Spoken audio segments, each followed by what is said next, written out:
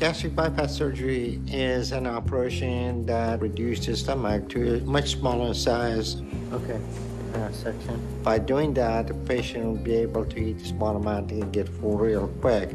So they're able to eat less and they're not hungry and their food obsession should go away.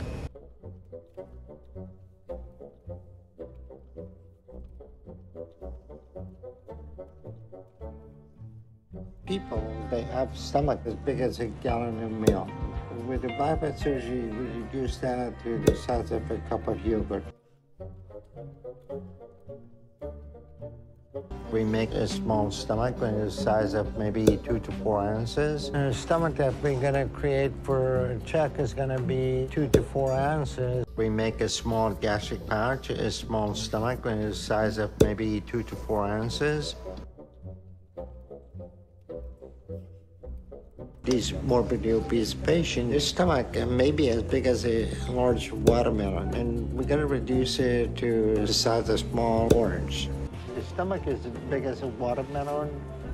With this operation, we're going to reduce the size of stomach to the size of a small orange. As we reduce the stomach to the size of a small orange, like to the size of small orange, a long, skinny tube that is shaped like a banana. Long, narrow tube that's shaped like a banana.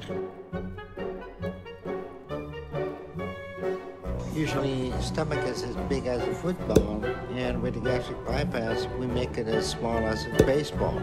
Stomach is as big as the size of a football, we're going to make it as small as a baseball. Patient's stomach can be as big as a football it to the size of a tennis ball. Patient's stomach can be as big as a football. We're going to reduce it down to the size of a tennis ball.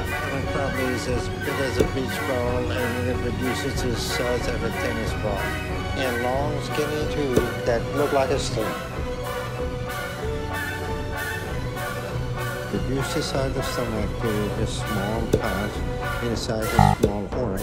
Like from the size of a football to the size of a small orange. Reduce the size of stomach from the size of football to the size of banana. Okay.